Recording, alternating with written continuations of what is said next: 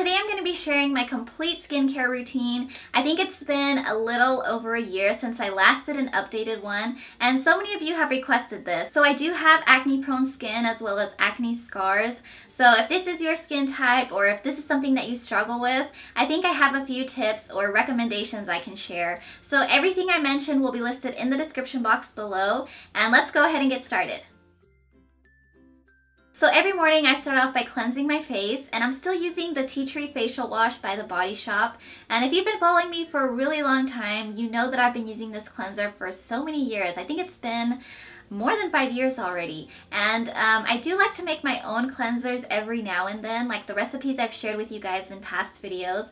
But the majority of the time, this is what I'm using. I think this is perfect for acne prone skin. It cleanses the skin thoroughly and just keeps it clear. And I like to double cleanse. So first I'll wash my face just using my hands and then I'll rinse it off. And the second time I like to go in with my spin brush and this is by Vanity Planet. And I think it's really important to use something like this, especially if you have acne prone skin skin because I feel like if I'm just using my hands, I'm only cleaning the surface of the skin and I'm not really getting deep inside the pores, you know? When I first added this brush into my skincare routine, I saw the biggest difference in my skin. I started seeing way less breakouts and the texture of my skin also improved a lot. It looked and felt a lot more smooth. So for me, this brush is a must-have and it's really affordable too. You can get it for $30 and it comes with different brush attachments. So you can use this for your face and for your body and it works just as great as the Clarisonic and the Clarisonic costs more than $100 so I really recommend this brush.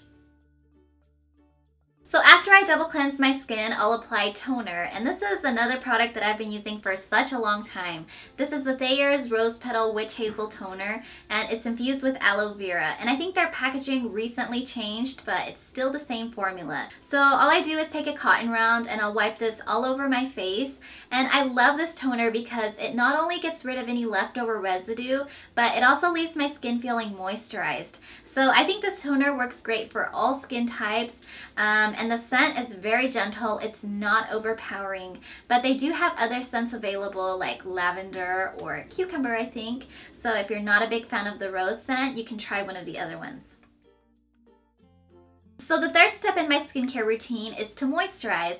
And I've currently been going back and forth between two different oils, which I know can sound really crazy to some people because we automatically think that oils will leave our skin feeling greasy or break us out, but that's not always the case. We shouldn't be afraid to use oils. They can actually help control oil production and keep our skin hydrated. So when my skin is feeling dry, especially right now during the winter, I love using jojoba oil. But if not, I really like using rosehip seed oil because it's an amazing product. It's full of nutrients.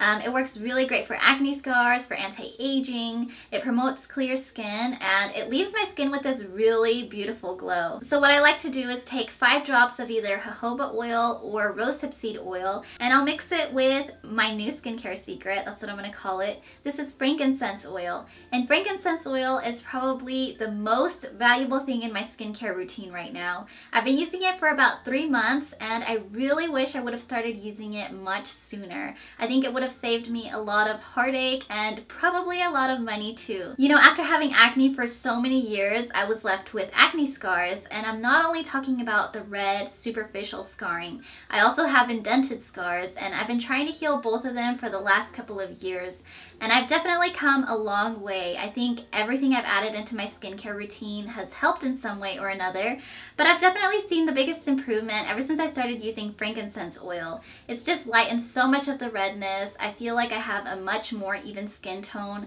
I can go out in public without any makeup, without any foundation, and not feel self-conscious about it like I used to. This is an incredible scar healer. It's anti-inflammatory, so it also works really great if you have existing acne. Um, it also has anti anti-aging properties, and there's just so many reasons why I could recommend this oil to you. But you just have to be patient because things like this don't work overnight. But if you're consistent, you'll be so thankful that you kept up with it. So after I moisturize with the oils, I apply sunscreen and I've currently been using the Kiss My Face sunscreen. This one has SPF 30 and wearing sunscreen is extremely important, especially if you're trying to lighten acne scars. If you're not wearing sunscreen, you could actually be making things worse. So I really can't stress that enough. It's very important to make sunscreen a part of your skincare routine. So my night routine is exactly the same as my morning routine, except for the sunscreen. I obviously don't apply that at night, but I use the same face wash, the same toner, and moisturizer. So the only thing I'll add is a spot treatment if I have a pimple. And I love using the Clean and Clear Acne Spot Treatment. This is another product that I've been using for so many years, so as you can see, I tend to stick to the same products. If something works for me, I'm just to keep using it, but I really do love this spot treatment. Um, it helps to get rid of any pimple super fast. So I also do things on a weekly basis. I think whether you have acne prone skin or not, it's really important to give our skin a little extra attention other than just cleansing, toning, and moisturizing. And I'm a big fan of applying face masks. I think they can make the biggest difference in our skin. And one that I really recommend, I always recommend this for acne prone skin, is bentonite clay mixed with a little bit of apple cider vinegar. And this is the bentonite clay I love to use. This is the Aztec Secret Indian Healing Clay. And if you follow me on Snapchat, Snapchat, you see me applying this all the time. So I'm not going to get into too much detail about this, but um, I really do recommend this for acne prone skin. Another mask I find myself using all the time is the Pumpkin Enzyme Mask by Banish. This has amazing acne fighting ingredients. It's all natural and organic. Um, so both of these are my go-to face masks and I typically apply a mask two to three times per week. Another thing I do on a weekly basis is microneedling for my acne scars and the one I use is by Banish. So if you're not familiar with this, this is basically a roller with tiny needles all around and what this does is create microscopic holes in your skin and it basically triggers your skin to heal itself. So anything that you apply afterwards will really go in and repair the skin. And I know it sounds really scary, but trust me, it doesn't hurt. Um, it does a really great job of getting rid of acne scars, even indented scars, which is my main focus right now. So after I finish using this, I'll apply my rosehip seed oil mixed with frankincense oil. And I've basically got rid of all of my red scarring. I'm just really focusing more on the indented scars now. And I know it's going to take a little bit longer to heal those because they're deeper and I've had them for such a long time.